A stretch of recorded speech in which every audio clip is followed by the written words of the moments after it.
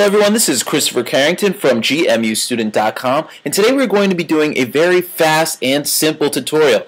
Templates are a lot to get your hands around so I want to make all these very quick and simple. So today all we're going to do is make an area of our template editable. Let's go right in and see what I'm talking about. So let's open up Dreamweaver. This is a template we made in the previous tutorial and basically what I want is I want to be able to make web pages from this template and have every web page generate this same header, make every web page generate the same menu bar, but I want this one area right here to be able for me to edit this one area in every single page that I do, but not be able to edit anything else, not the background color, nothing. In order to make this one area editable, what you do is, since we're in a table, you want to make this one row editable. So just come down right here to TR, that means table row, and click that.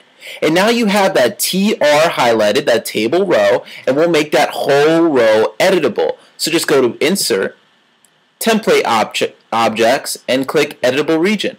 And let's just call that Content.